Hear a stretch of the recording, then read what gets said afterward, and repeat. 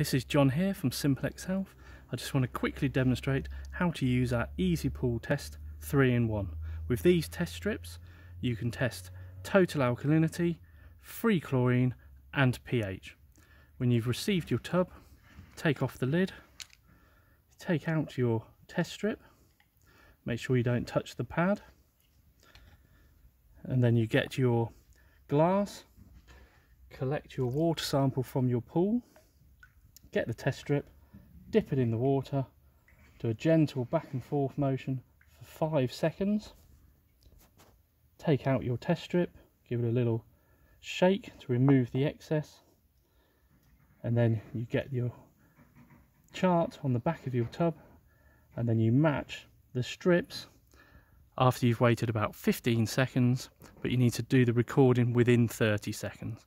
So if we just wait a few more seconds, now we can say the total alkalinity is just over zero.